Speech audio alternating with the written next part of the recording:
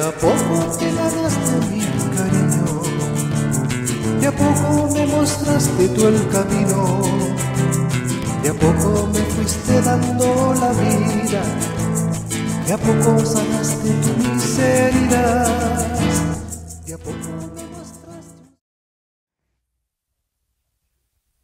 La alegría de sentirnos bendecidos. La alegría de saber que he llevado la bendición a otros, que le he llevado una ¿ah? de alegría, que le he llevado esta gotita ¿ah? de amor, esta gotita del Espíritu Santo que nos llena, que nos abre el corazón. Por ahí, ¿ah? una hermana que yo le mando las gotitas, ella la rendía y me pone, yo le mando una lluvia ahora de bendición. Nos intercalamos, y qué lindo porque uno va aprendiendo y va subiendo y va teniendo ese espíritu de amor que tiene el Señor. Por eso le decimos, Señor, aquí estoy, me entrego totalmente a ti, pero de fuerza, de lograrlo. ¿Ah? ¿Por qué? Porque sabemos que es la única forma, que hemos ido solitos y vemos tantas personas que están ahí perdidas porque se han alejado del Señor, porque se han desilusionado, porque han mandado su yo, ha mandado su orgullo, su soberbia, ha mandado lo que el mundo le dice que tiene que ser, ser prepotente y que tiene que mandar y que la violencia, que no, que nada de hablar, que hablar no, que ponte tú como sea. Y si no te escuchan, ahí va la violencia. Y así hemos llegado donde estamos. Y el Señor, ¿qué te dice? Paz, paz. Y se vuelve a repetir la paz. Y se vuelve a decir, silencio, él estuvo en silencio, yo te voy a defender. Pero nosotros le damos, le damos y subimos, y subimos, y subimos el tono y a dónde llegamos, a ninguna parte. A veces llegamos a la agresión. En esos momentos uno tiene que demostrar y decirle en forma silenciosa, Señor, no entiendo, yo quisiera contestarle, quisiera pegarle, quisiera estallar, pero Señor, contrólame tú llega a él, Señor no te conoce, llega a ella, Señor está perdida, está desilusionada, perdónala. Y te pones a orar por esa persona que está violenta frente a ti.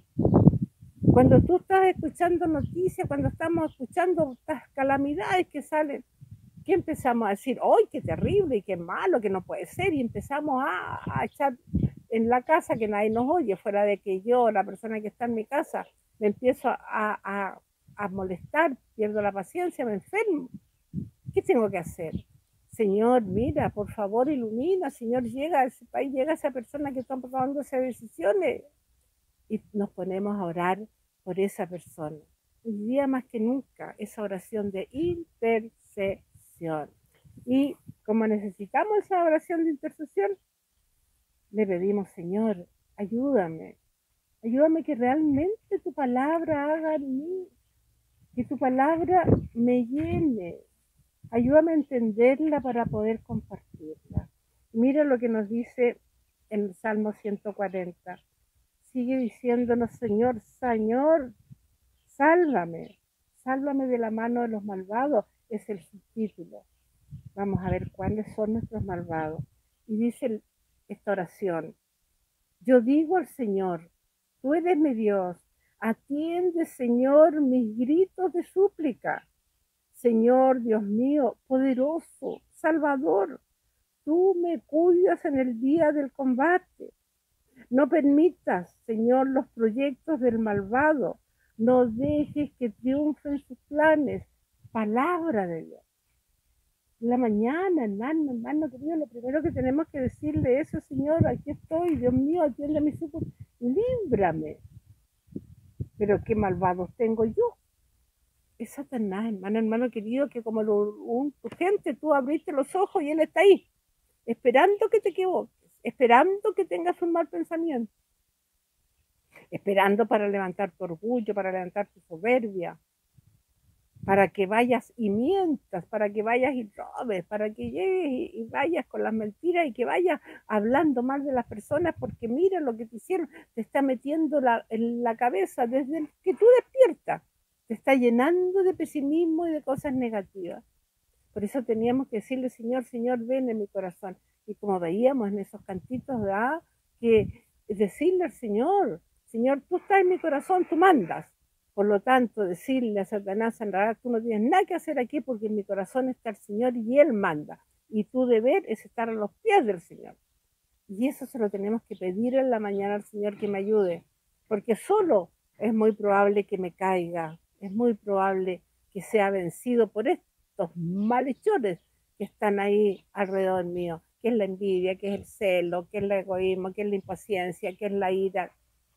Así que digámosle, Señor, yo sé que tú a mi lado vamos a vencer y a salir siempre adelante.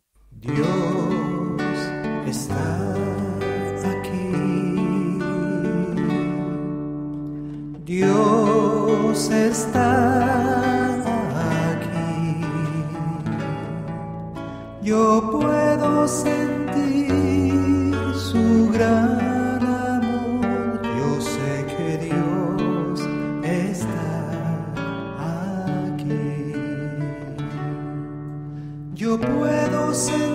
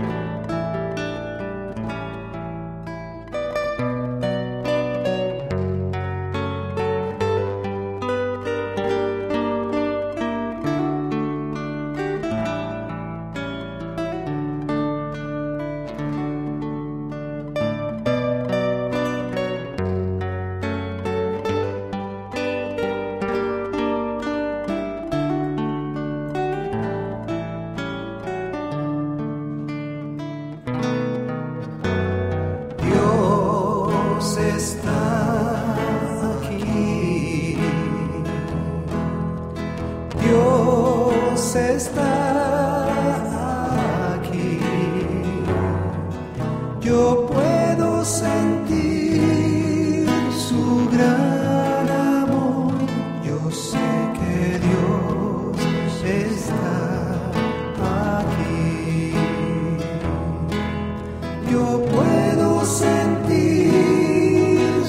baby.